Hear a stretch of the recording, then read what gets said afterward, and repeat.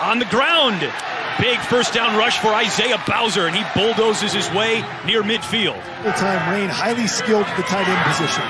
Ramsey on the boot calls his own number inside the five, and he's finally dragged down by Sam Okuayinonu. Raine, the tight end in motion. Second and goal. It's Bowser, touchdown. No trouble that time for Northwestern. Yeah, Livia, thank you very much. That's not good news for Northwestern's front defensive line. And that's a pick! Tagovailoa intercepted. He overthrew Rakim Jarrett in nine from just near midfield. Chalkio Bowman in motion. Ramsey delivers on the crossing route. Malik Washington has it. It's second and ten. Raine, the tight end, open on the sideline.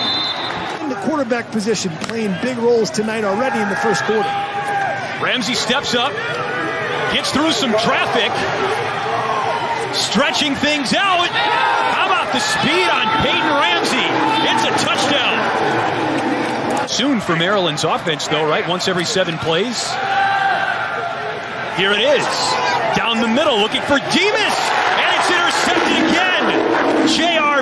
This time.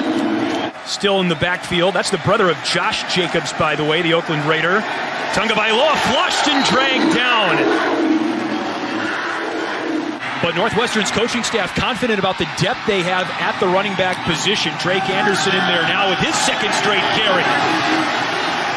Weaving his way back across the field. He's got a cavalry in front.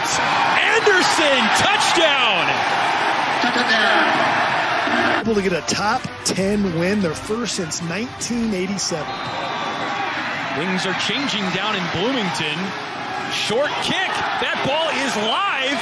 Northwestern was in great position to pounce on it, and they've got it. Northwestern has punted just once in the first half. Brown. First down and more. What'd you think of his leverage there? It's Bowser in the flat.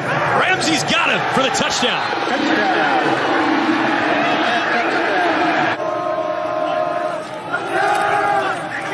Tagovailoa in trouble, and he cannot escape. Sacked on the play by Adetomiwa Adebawore. Ball into Northwestern territory now. Tagovailoa steps up.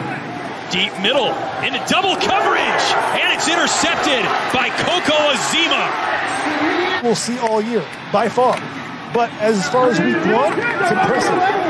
Evan Hull puts Northwestern over 300 yards of total rushing in this game, and he's into the end zone.